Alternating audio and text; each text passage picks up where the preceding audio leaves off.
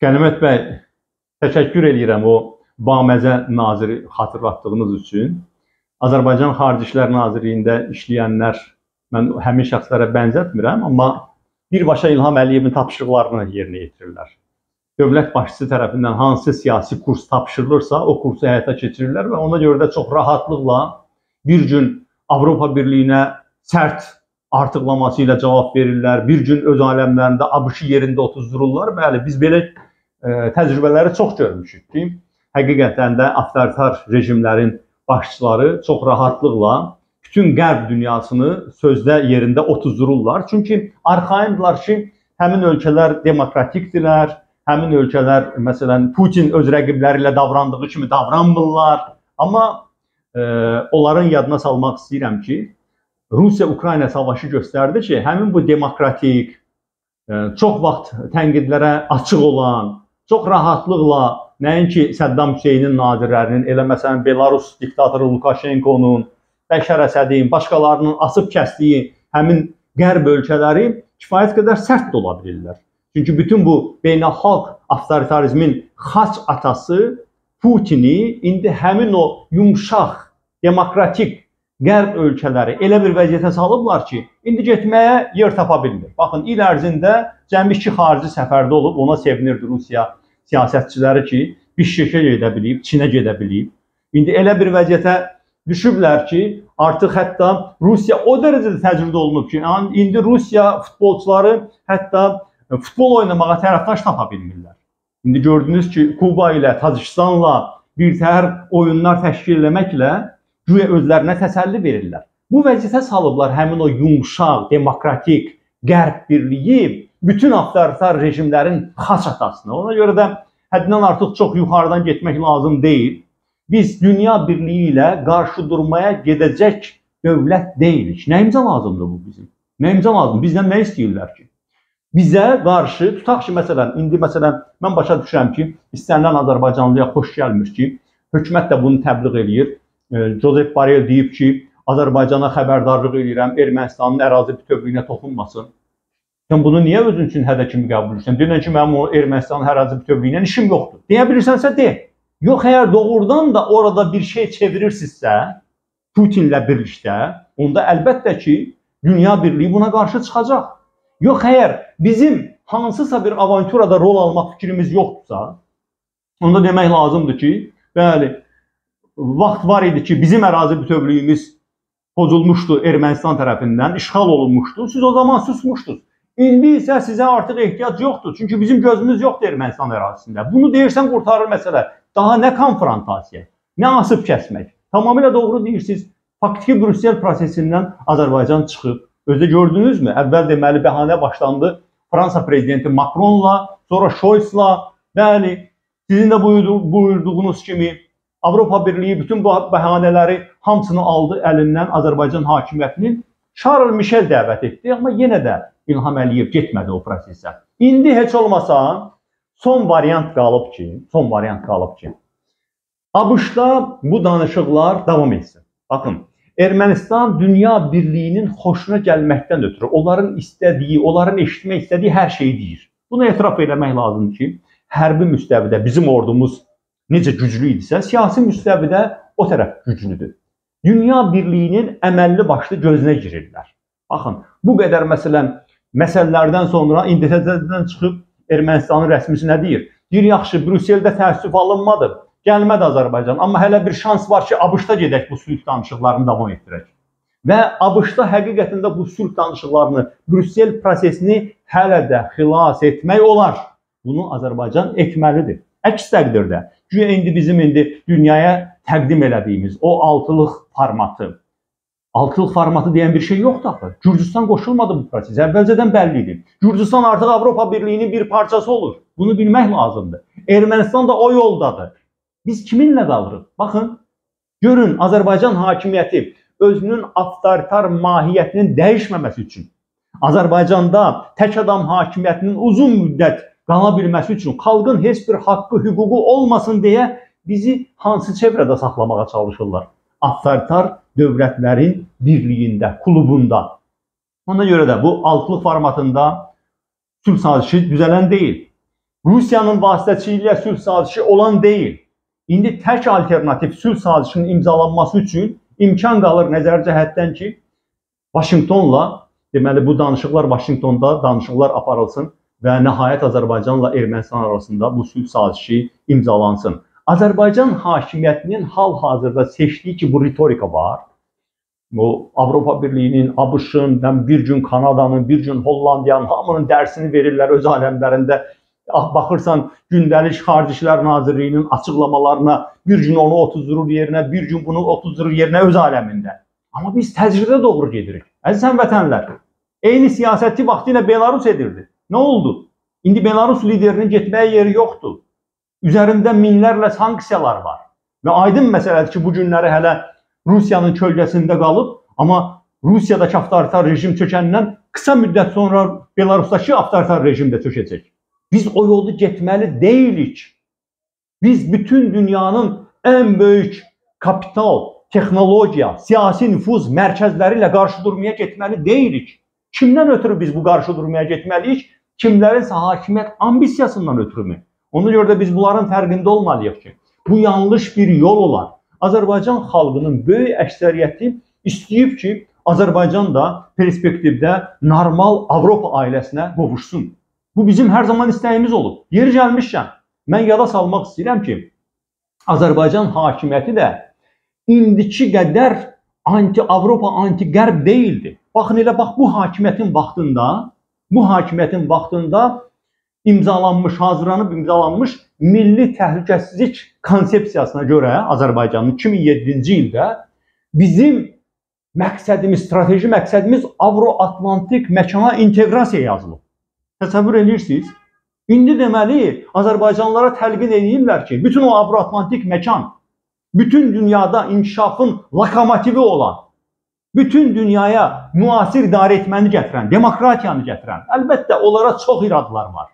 Azərbaycana münasibətlə bağlı, dünyadakı idarə etmə ilə bağlı çox iradlar var. Amma onlardan yaxşı idarə etmə harda var? Mən soruşuram, əziz həmvətənlər, düşünün. Avropa Birliyindən daha üst səviyyəli bizim regionda bizim üçün başqa bir alternativ nə ola bilər? Orada olan xalqların hüquqları, oradakı təhsil, səhiyyə, sosial təminat, ədalət mühakiməsi, vətəndaşa qiymət, bütün bunların hamısı başqa hansı alternativ bizə onu təqdim edə bilər? Rusiya belə bir alternativ ola bilərmi? Hansısa müsəlman ölkəsi belə bir alternativ təklif eləyirmi? Yoxdur başqa bir alternativ. Ona görə də Azərbaycan hakimiyyətinin özünün kürsü maraqlarına görə Azərbaycanı anti-Avropa proyektinə çevirmək istəməsi birbaşa anti-xalq siyasətidir. Xalqın maraqlarına zidd olan bir siyasətdir. Baxın, biz bu yolla təcridə doğru gedə bilərik. Bütün bunların hamısı bizim birbaşa həyat səviyyəmizə təsir edir. Ölkəmizin milli maraqlarına neqativ təsir edə bilər. Hər birimizin maraqlarına ciddi şəkildə təsir edir. Ona görə də biz başa düşməliyik ki, bu gün Azərbaycan hakimiyyətinin bu anti-Avropa ritorikası seçməsinin əsas səbəbi qərbdən gələn və gələcək demokratiya çağırışlarını önləməkdir. Biraz da bu siyasətin arxasında açığı blef olduğunu mən düşünürəm. Azərbaycan hakimiyyəti öz aləmində düşünür ki, bizim deməli Avropa ilə bir çox ölkələrlə qaz ticarətimiz var. Hal-hazırda Avropa Birliyinin qaza böyük ehtiyacı var. O cümlədən Azərbaycandan aldığı qaza da ehtiyacı var. Və Azərbaycan hakimiyyəti öz aləmində düşünür ki, belə sərt ritorika ilə bütün qərb dünyasını onları biraz ehtiyatlı olmağa məcbur eləyəcək, amma münasibətləri konfrontasiya aparıb çıxarmayacaq və sadəcə mesaj verəcək ki, məndən bu qədər. Deməli, bizim daxili işlərimizə qarışmırsınız. Oradan e, professor Qubad İbadoğlu azad olunsun, siyasi məhbuslar azad olunsun, işgəncəni durdurun, E, müxalifətə təzyiq göstərməyin, azad mətbuat yaradın, demokratik seçki keçirin kimi tələbləri qoyun qırağa. Bunların hamısı yer gəlmişən Avropa Parlamentinin qətnaməsində var. Bəli, həmin Avropa Parlamenti bu gün Azərbaycan hakimiyyətinin Azərbaycan xalqının hər cür gözündən salmağa çalışdığı həmin o Avropa Birliyi görün bizdən nə istəyir? Bizə demirlər ki, bizə ucuz neft verin, bizə ucuz qaz verin. Biz ən baha neftimizi, qazımızı Avropa Birliyinə satırıq. Bizdən heç kim bunu istəmir. Əksinə bizə pul təklif edirlər. Sadəcə xalq üçün hüquqlar tələb edirlər. Deyirlər ki, o 200 nəfərdən artıq siyasi məhbusu həbsxanalarda məhv eləməyin. Deyirlər ki, indi 21-ci əsrdir, öz xalqınıza işgəncə tətbiq etməyin. Demirlər ki, Avropalılara işgəncə tətbiq etməyin. Deyirlər ki, öz xalqınıza işgəncə tətbiq etməyin. Xalqınızın da, sizin xalqın da haqqı olmalı, sərbəst toplaşsın, nəyəsə etiraz eləsin, nəyisə bəyənsin, nəyəsə bəyənməsin. Onu istəyirlər Azərbaycan hakimiyyətindən. Azərbaycan hakimiyyətinin bu sərt ritorikası da ondan ötürüdür ki, üzərimizə gəlməyin. Bizdən demokratiya istəməyin. Heç kimin azad olunmağını tələb eləməyin. Biz sizə qaz satacağıq. Siz bizim daxili işlərimizə qarışmayacaqsınız. Yox birdən bizim daxili işlərimizə qarışmaq istəsəz. Yəni bizdən demokratik seçki istəsəz, bizdən çox partiyalı sistem tələb eləsəz, insan haqlarına hörmət tələb eləsəz, biz də olaraq Belarus birbaşa olaraq Rusiyanın himayəsində Belarus kimi bir anti-Avropa layihəsi və sizə qarşı çevrilərik. Bax bunun müzakirəsi, mübahisəsi gedir. Ona görə də Azərbaycan cəmiyyəti hökumətin bu səhv siyasətində vasitəyə çevrilməli deyil. Mən nədən narahatam? Mən ondan narahatam ki, bilirsiniz, milli şüarlar həmişə avtoritar rejimlərin, korrupsioner rejimlərin əlində paradoksa baxın ha.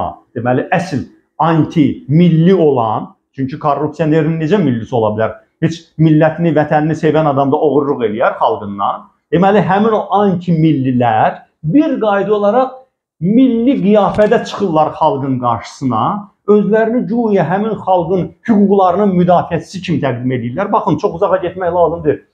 Belarusun nümunəsinə baxın. Lukashenko Belarus xalqının az qala güya milli maraqlarının müdafiəçisi kimi çıxış eləyir.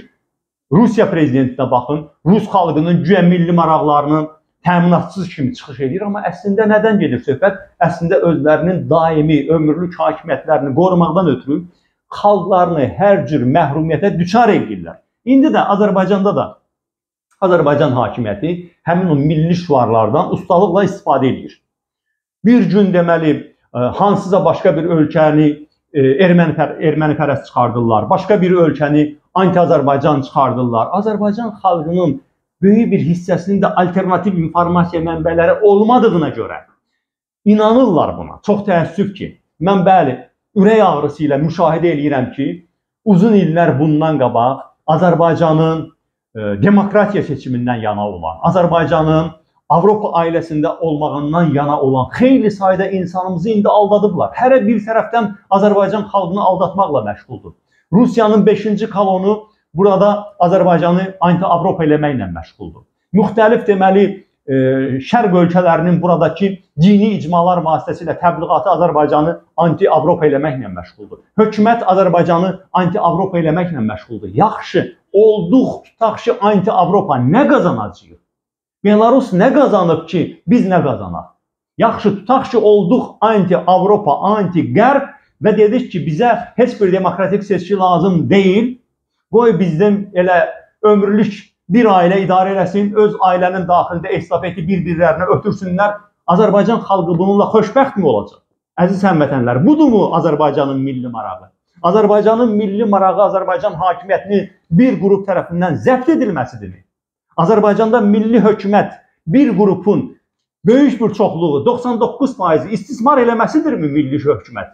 Ona görə də əziz həmvətənlərim, ayıq olmaq lazımdır. Nəyə görə bu məsələləri olduqca açıq şəkildə sizinlə danışıram?